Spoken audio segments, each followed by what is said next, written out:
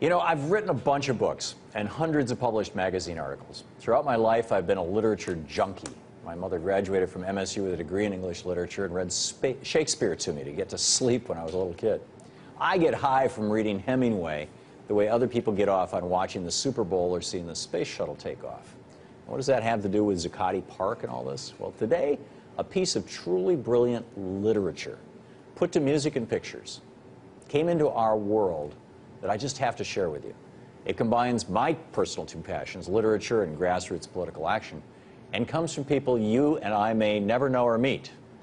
It's a message to the people of New York City, and frankly, I'd argue to people of every city where an Occupy mission is being undertaken, from the group that goes by the name Anonymous. This is a message from Anonymous to the people of New York City, Wall Street, and members of the protest. We are crowding your streets. We are filling its veins. This might be painful but you will not open your eyes so we have been forced to dilate them. This is your protest. Welcome your new neighbors, for they choose to sleep on the streets for you. They choose to open their mouths when you are too exhausted. They are your brothers. They are here for your benefit. They are young, they are the children of the internet. They are Generation Zero. They are taking their future back into their hands. They are reviving the country you have long left to rot and wither. Never forget this, treat them with kindness. Nod your heads in respect to them, give them water, shake their hands. The smallest gratitude will incite them. Wall Street, four years ago you saw that the country was brittle, you saw that it was ripe for the taking and so you did. You shattered the country, and you collected the fragmented pieces to line your pockets. We stand here, united and strong, four years later. We stand before your butcher block, before your slaughtering house. Did you think that the people would not come to know what you have done? You sit before your trading screens, before your analysis.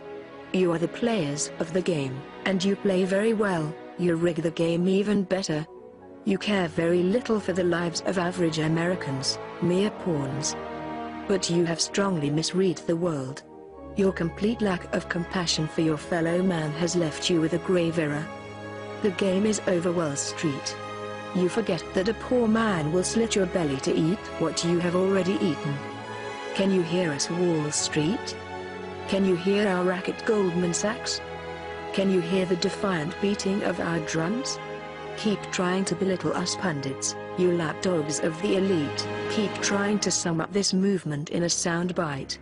This is a cultural crisis, and you are simply too stupid to understand it.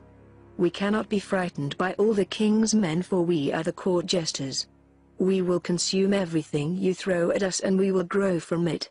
This is our Arab Spring, this is our time.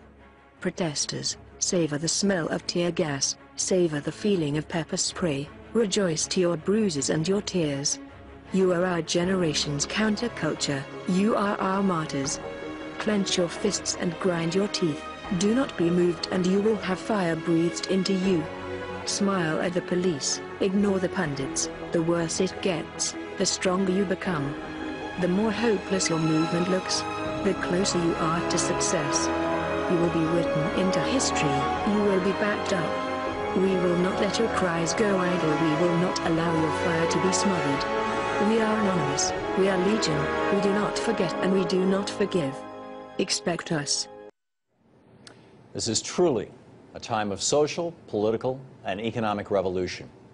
The forward march of history. Like water running down a mountainside, it can't be stopped. In a few years, this world will be a very different place than it is today. And today I tip my hat to the authors, the poets, really, at Anonymous, for speaking to these times so eloquently. Thank you.